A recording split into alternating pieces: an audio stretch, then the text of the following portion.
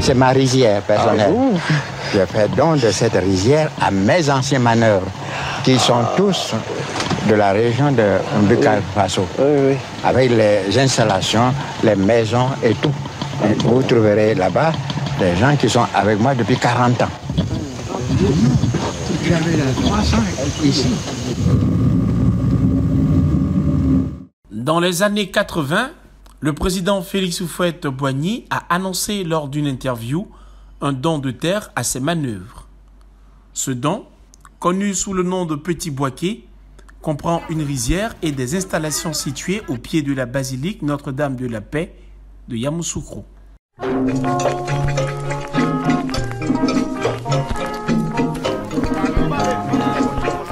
Près d'un demi-siècle après cette déclaration historique du premier président ivoirien, les occupants de ce site et leurs familles font face à une menace d'expulsion imminente. Nos parents ont travaillé pour Mami Fete et Oufoué Boigny. C'est pour cela qu'ils ont construit ce quartier pour eux. Aujourd'hui, certaines personnes veulent nous exproprier. Nous disons non à cela.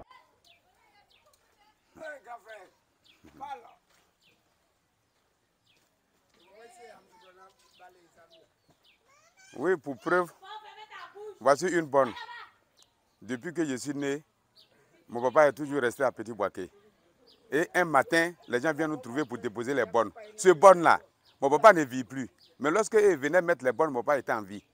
Mais le vieux a refusé à ce que ce bonne-là, on touche parce qu'un matin, peut-être que ça va rester comme témoin. Donc voilà le témoin de le nouveau lotissement des gens de 220. Qui vient nous chercher d'ici. Nous aussi, on ne peut pas partir parce que mon papa a dit que Boyen leur a donné petit boaquet. Depuis quelques années, une opération de lotissement a été entreprise dans cette partie de Yamoussoukro. Pour les résidents de Petit Boaké, cela équivaut à une expropriation d'un bien légué par le président Félix Houphouët-Boigny. Ici, dans cette cour, nous sommes encore dans l'ancien plan. Mais eux, dans leur nouveau lotissement illicite là, il y a une voie qui passe ici. Ça veut dire que vous voyez la cour avec la cour voisine. Toutes ces deux cours-là doivent être détruites pour faire passer la voie, une voie dans leur plan de lotissement. Nous disons non. Nous, notre plan est là, avec nos, euh, notre ancien plan, avec nos anciennes maisons, qu'on est en train de renouveler. Vous voyez, petit à petit, on cherche à renouveler.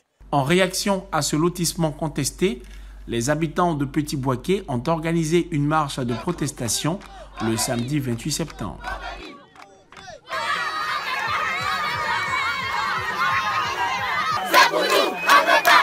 L'annonce du lotissement a semé l'inquiétude parmi les habitants du quartier. Soro Bolugo Suleiman, ancien chauffeur de Mami Adjoa, sœur du président Félix Houphouët Boigny, partage son histoire. Voilà,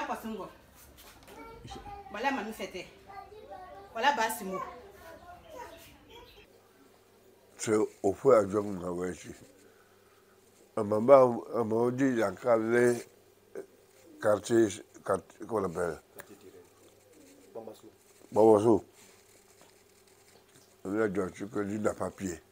C'est moi qui suis pied. La nuit, c'est moi qui vais arriver. Comment lui a fait Il parle, lui parle après quelqu'un. Lui n'a pas d'enfant. C'est moi qui suis l'enfant, c'est moi qui suis super, c'est moi qui suis tout. C'est ainsi.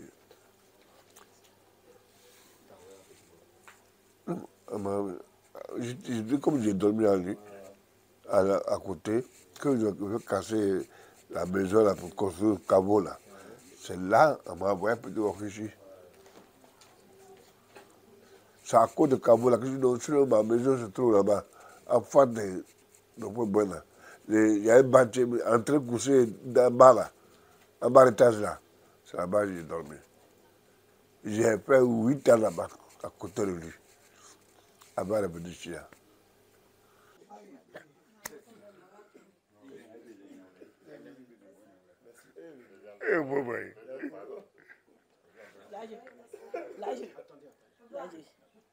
Les descendants des anciens employés de la famille Oufouette-Boigny constituent désormais la majorité des habitants de Petit Boisquet. Face à la menace d'expulsion, ils se retrouvent dans l'incertitude quant à leur avenir. Je suis de Béomi, chauffeur de la Vieille Fête. Je suis dernier, chauffeur de la Vieille Fête, président, la grande sœur du président Oufouet. Et c'est président Oufouet qui nous a mis à Petit Boisquet ici.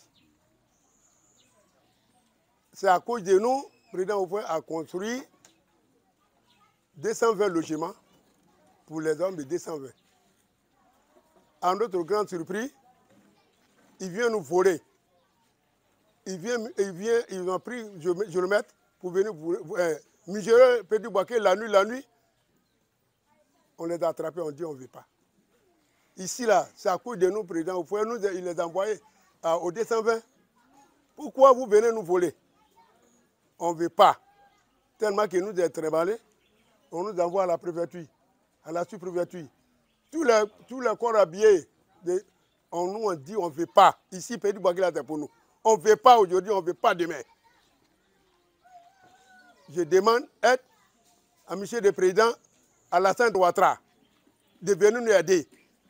On est, on est dans l'eau, euh, dans, on, dirait, on est tombé dans le feu, il n'a qu'à venir nous enlever. J'avais deux enfants lorsque j'arrivais ici. Et quand je suis arrivée, j'ai encore eu neuf enfants. Mon mari était chauffeur. Lorsqu'on venait, et ça malgré qu'on ne le payait pas, je n'ai jamais rien appris de mauvais depuis que nous sommes installés ici. Ici s'appelait Petit Boaké. C'était un campement. Nous avons tous vu ce campement grandir et nous sommes tous ici. Vivons dans la paix et la convivialité malgré nos différentes ethnies. Je suis arrivé ici le 5 septembre 69. Alors, quand je suis arrivé, je travaillais avec M. Doubénan, l'assistant, le premier assistant du président. J'étais mécanicien. C'est moi qui m'occupais de tout, toutes les petites machines qui travaillaient dans le bas-fond. Alors j'ai conduit ça jusqu'à notre... Euh, euh, le président a cessé de, de travailler dans le bas-fond. Il nous a cédé le bas-fond, que vous avez déjà la vidéo. Donc, je suis resté là. Au moment où je venais, je n'avais pas de femme. Maintenant, tous mes enfants, ils sont nés tous ici. Si on veut m'enlever, où je dois partir? Donc, le problème est dur pour moi. Donc, je cherche, il ne faut pas qu'on va nous déloger d'ici, qu'on reste ici, qu'on vit tranquillement avec nos enfants. À mon âge, si on m'enlève, où je vais partir? Donc, voilà le problème. Donc, je prie beaucoup le bon Seigneur que Dieu le fasse, qu'on puisse y rester, que les hommes nous laissent tranquilles, qu'on vit notre dernier moment.